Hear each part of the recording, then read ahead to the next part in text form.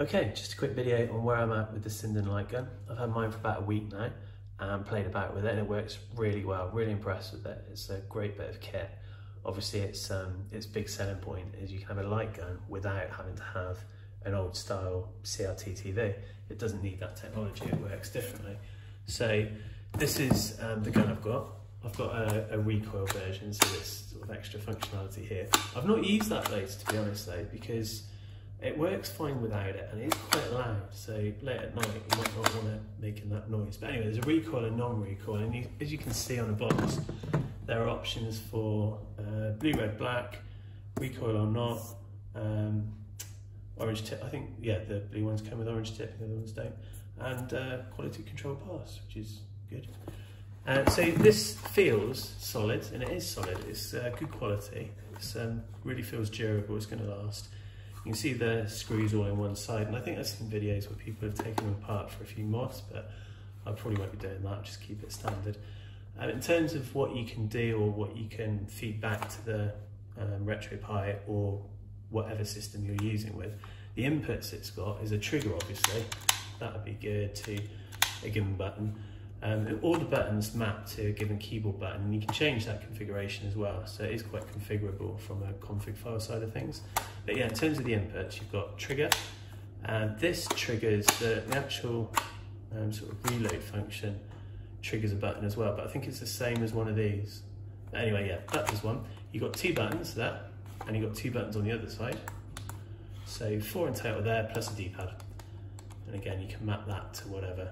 So that's all of the, the inputs that you can get. So any given game can have um, four buttons, D-pad and trigger. And I don't tend to use that bit.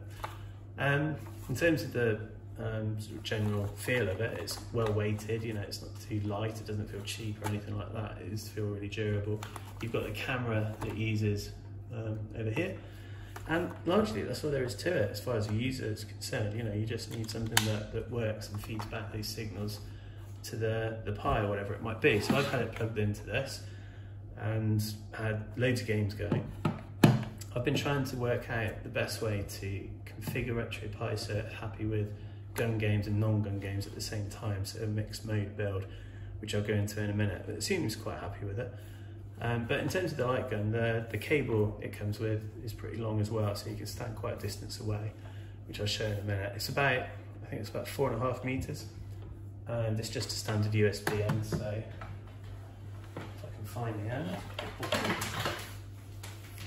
There we go. Standard USB, so it just goes in one of the ports in the Pi or whatever you're using, you know, in your PC if that's what you're going to use to to run the um, gun. You can have two players at once, so it doesn't have to be a one player um, setup. I've only got one gun, I've not got two configured, but you can, you know, buy two, run them both at the same time. They're quite happy running together It takes a little bit more config, but not much, so it's worth looking at if you want two-player games running well. But there it is, that's the, the physical gun. So what I'll do next, I'll go to some screen sharing and show how it looks um, when it's on, up on TV, and then I'll show you some sort of games in action.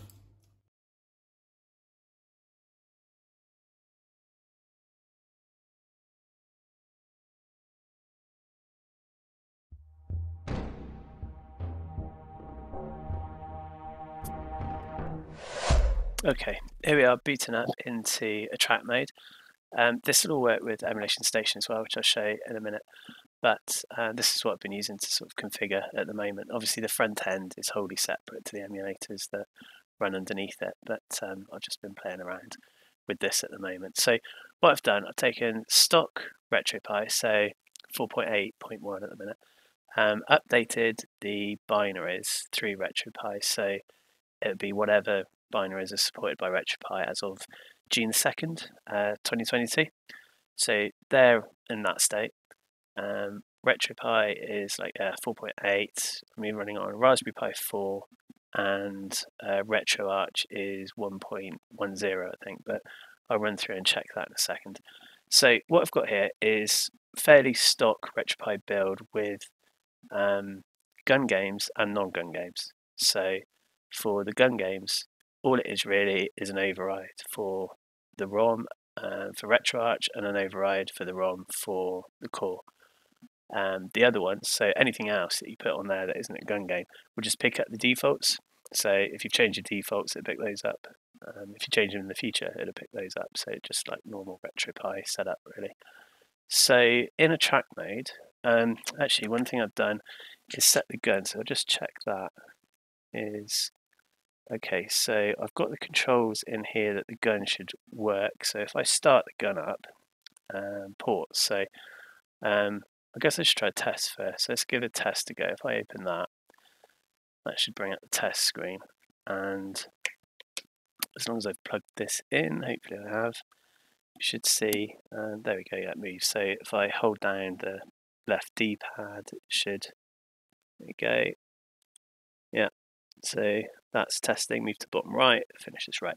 Okay, so now let's start the gun up and if I've done that right, AttractMode should let me, yeah, there we go. So I'm using the gun to navigate here, just using the D-pads. And then for select and unselect, that's all the buttons I've configured on the gun really, because I don't need the other options. So if I press back, it should go, yeah, do you want to exit? I press the other front button that I've mapped to no. Um, and yeah, these are just obviously standard setups that you get with RetroPie. The ports are part of the Sinden install package. So you run a couple of scripts to install it. Um, I've left the defaults. You can add other configs in there. So for example, if I've got got recoil gun, I could set the config for recoil specific. These are just the defaults. I haven't played about with them. Um, but if I go to the first set of games, I've just configured PlayStation and arcade with FB Neo at the minute. So um, I haven't done them all, and I'm doing each specific game, so it's taken a while, but I've got a couple for bit of a demo anyway. Um, push that on the arrow. So okay, so we've got PlayStation here. So I've got Time Crisis, and I can press up on the D-pad there. We go Crash Bandicoot, which is obviously not a gun game, um, and then Time Crisis Project Titan. So if I um, start with Time Crisis, that should just work okay. So I'll just press start on the gun, which is that one. There we go. I haven't put a loading screen up or taken the wrong command off. It's just kind of as it is at the minute. And what I should see is, okay, so it's picked up, you see in the bottom left there, it popped up with configuration um, override. And when we do the non-gun games, you won't get that because it's just picking up default. Okay, so let's just aim and shoot, make sure it's playing ball. Yep, seems okay. Then I press the button on the gun. There we go. And I'll just give it a quick go to show you how it looks and because it's a good game. It won't look particularly exciting on this because all you're going to see is a bit of the um, sort of flash or cursor where I shoot, but I'll do it properly um, so you can see me sort of literally playing it later. Um, okay, press any button, press any button. I don't know um, other people when you use the gun, whether you ever use the crosshairs and sight or you just kind of play it by ear. I think it's easier not looking down the sight all the time. There. Um, I've got a shader on this as well, so there's a bit of a scanline effect. Obviously, that's just personal preference. You can change that, and I'll, you can see I've got the um, overlay around the side. And if you don't know, the white bar is required for Sinden to work properly. Okay, uh, the Sinden light gun to work properly. So that's why the white um, border's there if you weren't sure.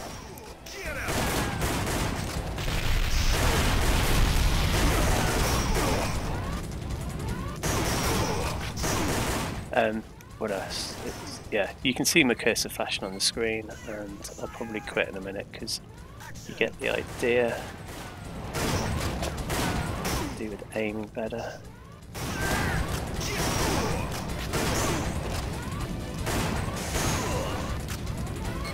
Um, yeah, what else? So I think that's that's pretty much it on this. It's just got the override. So um, I was going to say RetroPie, but RetroArch knows how to map um, the button presses I've got on the gun to um, something it understands. So that's what the config does there. I'm just going to see if I can get that Loki comes up there.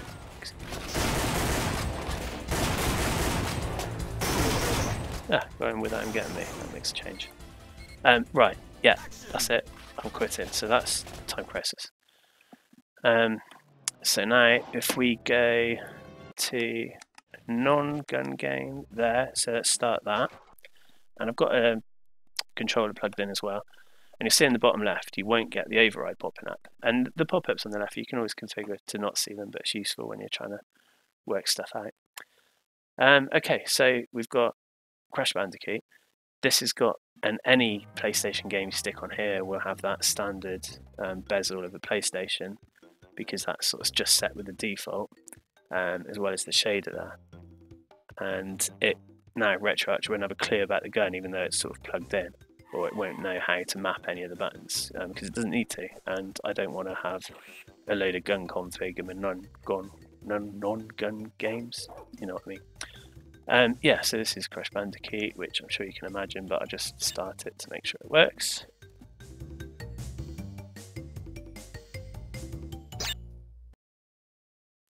There we go.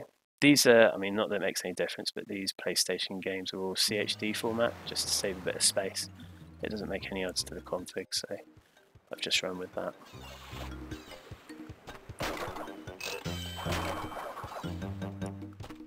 Jump, spin, jump, spin.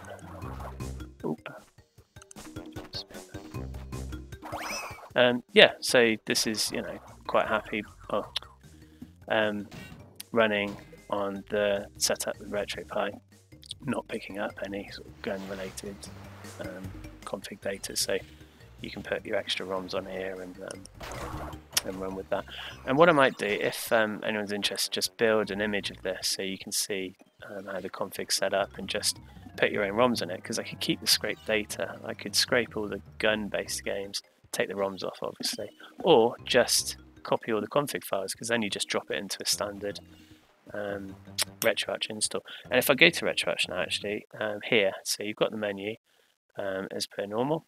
If I go back, I'm trying to think where um, I'm off in the RetroArch menus. I don't know where I'm going. Information, system information. There, so in the bottom left it says 1.10.0, so that's the RetroArch version. And then you've got, I'm using PCSX ReARMed for PlayStation, which is R23, which I think is March this year or something, looking at that GitHub. So it's a relatively new binary build, um, and that's all just running here. You can see that it's got um, it can it can see my controller, um, not the gun at the minute, um, which is what I need.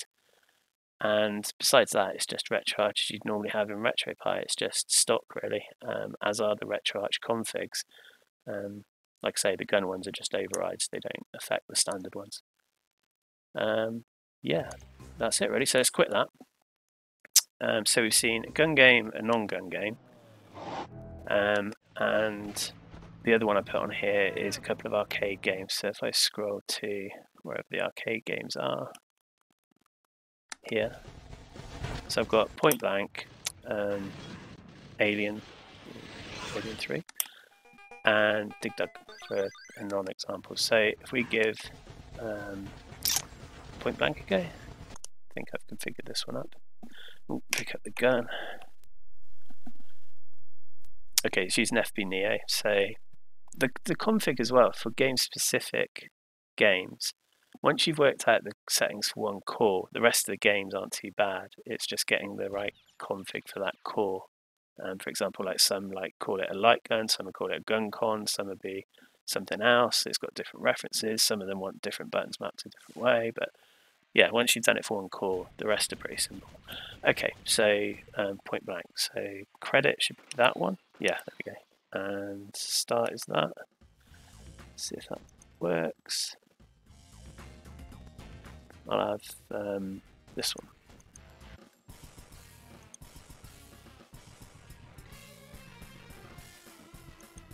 Twenty-five seconds, unlimited bullets. Okay.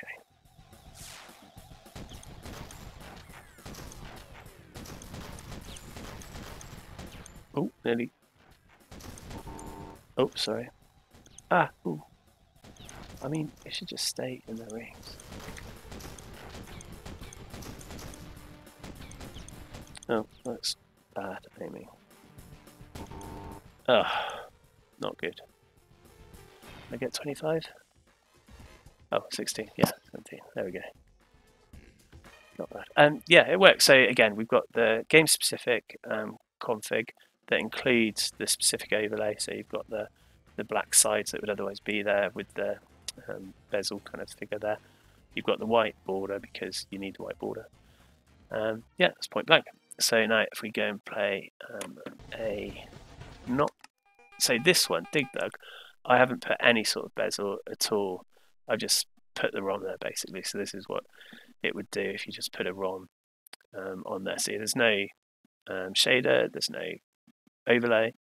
It's just running it um, as per the standard configs.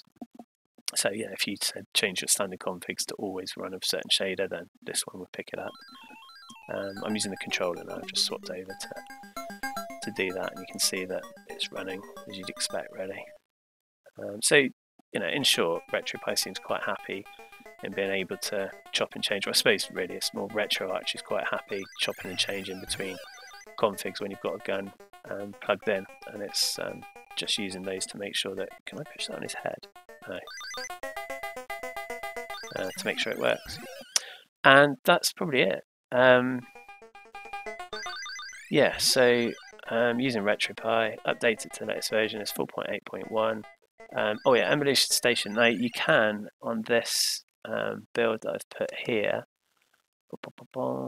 and uh, track mode. I can launch emulation station here, but because the video capture will have a bit of a moment when it stops and reboots. If I do it manually, say exit, start emulation station, it should just be exactly the same setup. Obviously, both front ends use the same config, so it doesn't really make any odds, but they both work quite happily. So again, ports, you can start your gun, stop your gun, and anything else. Um, PlayStation, you've got the same games running the same way. And uh, that's the standard RetroPie um, settings. And arcade games that we looked at a minute ago as well. So um, it's good in that environment as well. Uh, but yeah, uh, what I'll do is probably just crack on and try and configure a lot more gun games. Because, let's say with Super Nintendo, for example, there's, I don't know, about a thousand games. Light gun games, there's only about, oh, I guess here, about 10.